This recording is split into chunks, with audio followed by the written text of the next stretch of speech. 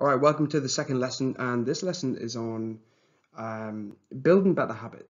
So, because we're going to be talking about building better habits, um, first I want to go over this quote.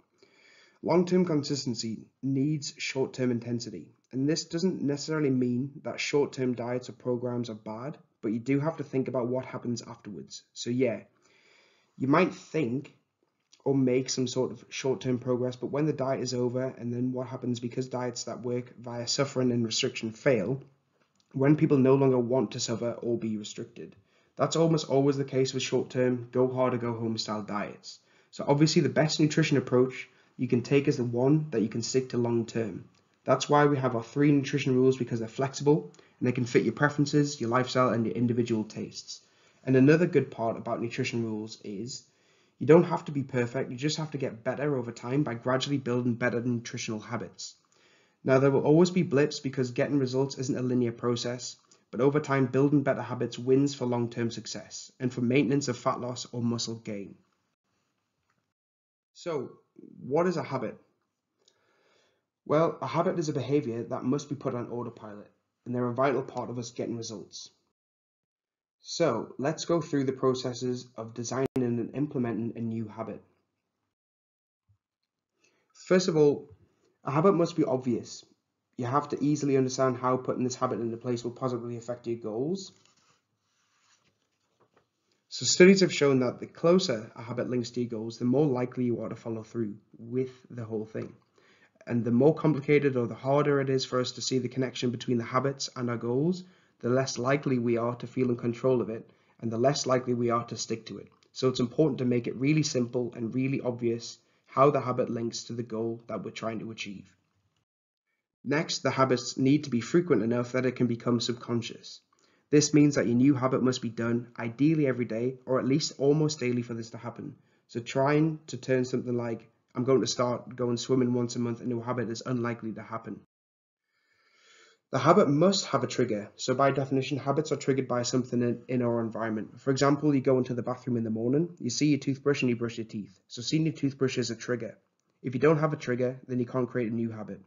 Now, a really easy way to create a trigger is to do what's called habit stacking. This means using an existing behavior or trigger to be the trigger for your new habit. So let's say you want to stretch more, for example. And also let's say that you're already in the habit of having a coffee every morning when you get up from bed.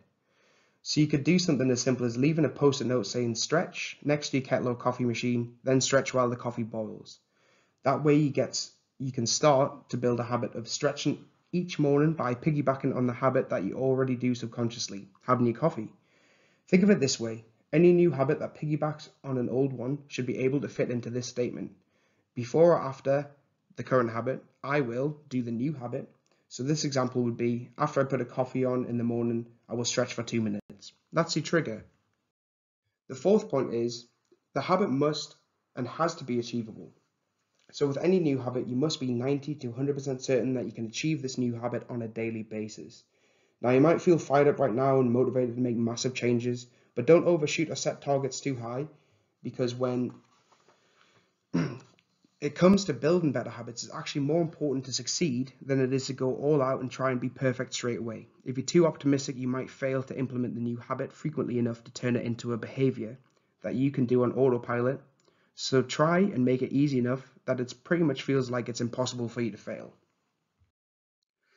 And the last point is, it must be 100% under your control. This is really important. As an example, setting a new habit of getting 8 hours sleep per night that's not always under your control because you might not be able to fall asleep. There might be an alarm going off outside, you might have kids, etc. There are things that you can't control, but you can control your sleep routine. So instead of aiming for getting 8 hours of sleep every night, aim to improve your sleep routine by not using your phone for 30 minutes before bed. And they're the five steps for designing a new habit. The last part is to write this up into your habit statement, and you should do this every time you want to implement a new habit and statement goes like this.